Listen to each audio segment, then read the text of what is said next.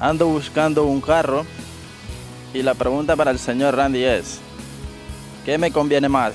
¿Hacer un lease o comprar un carro? Bueno, la verdad es que la pregunta es muy buena. Eh, obviamente nosotros los latinos siempre nos creamos con que comprar es lo mejor que puede haber. Ser dueño de tu vehículo, bueno, al final de todo es lo mejor.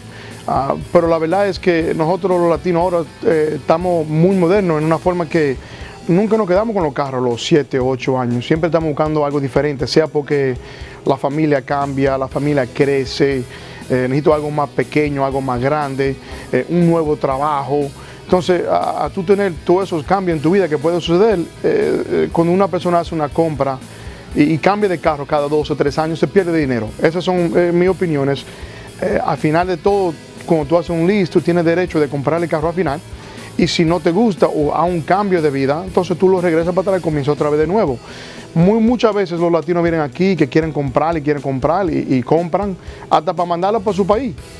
Y al final de todo, al año, a los dos años están aquí cambiándolo por otro carro, pierden un poco de dinero. Entonces yo creo que obviamente para salvar ese dinero, el lease es lo mejor, eh, poner un poco o, lo mínimo posible de entrada y, y tener los pagos lo más bajito posible.